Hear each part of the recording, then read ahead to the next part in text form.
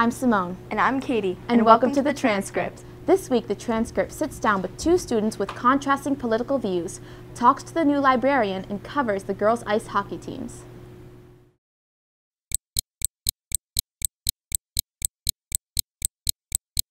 A federal judge in Hawaii on Wednesday blocked President Trump's revised temporary ban on travel to the U.S. from six predominantly Muslim countries. The judge, Derrick K. Watson of Federal District Court in Honolulu, wrote that a reasonable, objective observer would interpret Trump's executive order as an attempt to disfavor a particular religion, in spite of its stated religiously neutral purpose. Trump vowed to appeal Watson's decision. Dutch Prime Minister Mark Rutte declared victory over far-right anti-Muslim firebrand Geert Wilders on Wednesday in parliamentary elections that were seen as the first test of populist movements in Western Europe this year. Wilders led opinion polls for months before tumbling in recent weeks. The vote was seen as a bellwether for upcoming elections in France and Germany, where other anti-immigrant candidates are challenging the political establishment.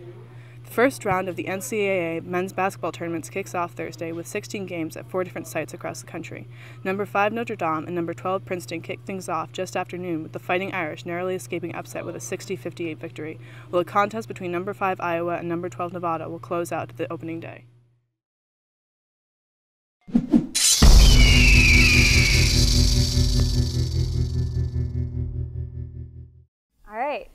Welcome to Speak of the Devil, a monthly talk show that aims to bridge the gap between opposing or differing sides on a certain topic.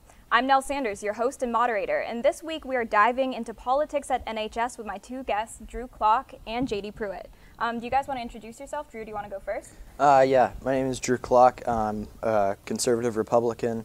I got into politics from my uncle. I mainly follow Paul Joseph Watson of InfoWars and Mark Dice.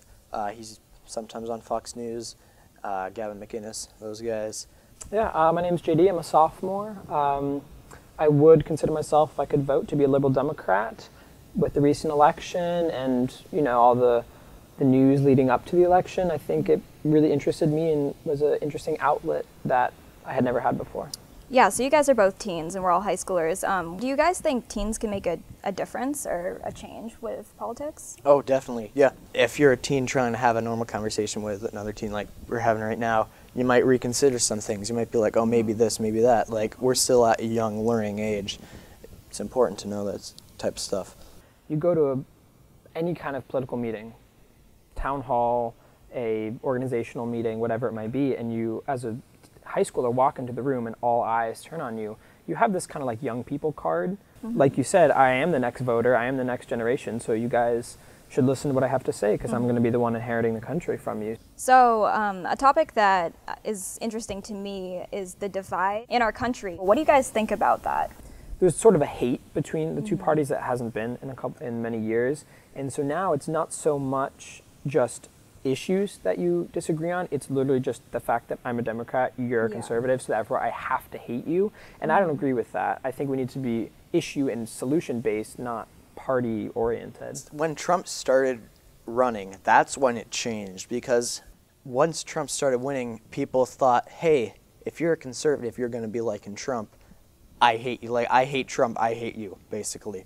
So, sort of transcending from the topic of hate and moving on to more of the topic of mending, um, what do you guys think about how, I mean, our country is sort of going to mend ourselves after this extremely hateful, dividing election? We need to have like non hated candidates like Bush and Gore. Like, people didn't hate those people, mm-hmm. they were just two candidates with views, really. It wasn't the biggest controversy in the world.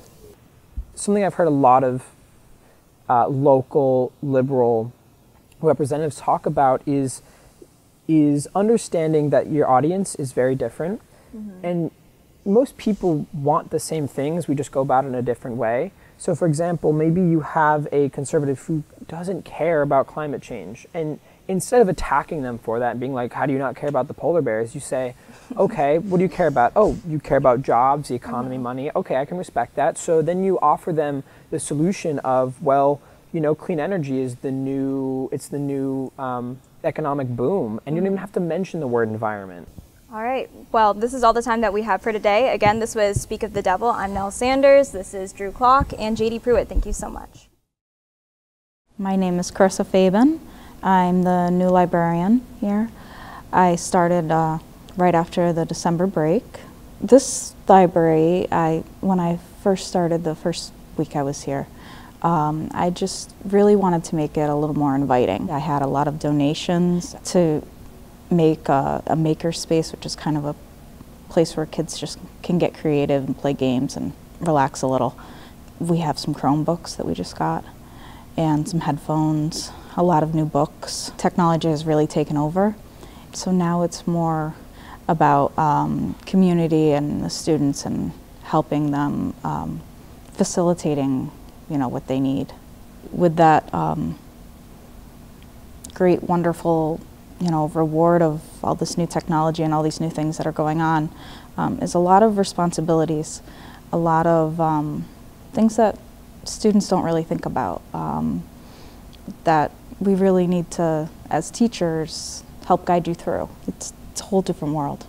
I want to engage the students more in the library. I want them to come and check out more books. I want them to come and utilize the space. I've had some students come in and say they've never been in here before, which amazes me. Um, you know, and they're not freshmen. But so I, I really want you to come in and utilize the space and be comfortable here and know that it's here for you and I'm here for you. And I really just want to help prepare you for the next chapter in your lives um, and you know whatever that may be. Hi, I'm Connor McClendon. Welcome to Hamped Up. Y'all ready for this?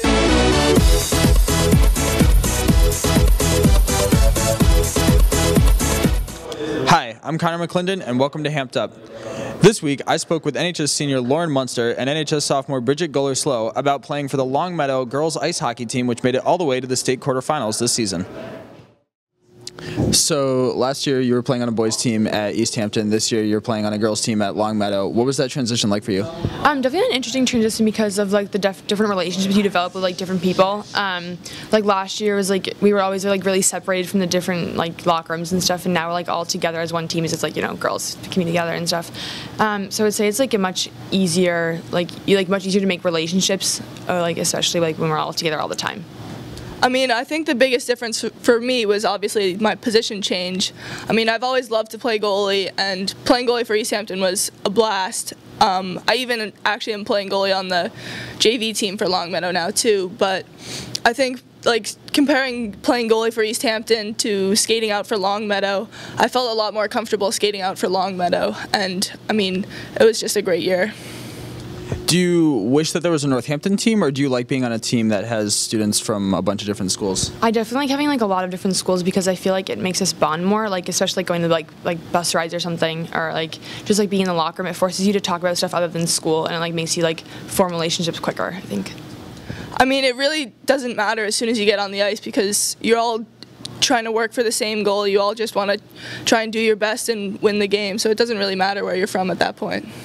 So you have to travel to Springfield for practices. You have to travel all over the state for games. Does that ever get uh, difficult uh, balancing schoolwork and travel for games? It's definitely time consuming, but um, like definitely the bus rides we use like to times like sometimes do homework, sometimes you do like other things like you know like listen to music or whatever. But it always is like makes us bond more. I guess like as I said before. You have to try and figure out how to balance your schoolwork and your sports, and sometimes you do have to miss a practice here and there. But the coaches are great and will understand that no matter what. So you guys are now in the state quarterfinals, and you came in as the number 12 seed, so that's a pretty impressive run. Do you guys like being the underdog? Um, I would say so, but also you have to take into consideration that like being the underdog, you can always like upset someone, but always someone can always also upset you. Like recently, we had like a the 24th seed or whatever, like upset the number five seed or something like that. So it's like very you always have to like be on your toes and like be ready for like the next game ahead. All right, great. Thanks so much for being on Hamped Up.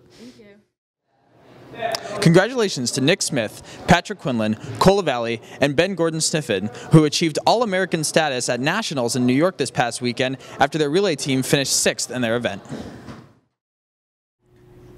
Make sure to come see this year's musical, the 25th Annual Putnam County Spelling Bee. Performances run tonight at 7 p.m. and Saturday at 2 p.m. and 7 p.m. Also, make sure to like the transcript on Facebook and follow them on Instagram and Twitter.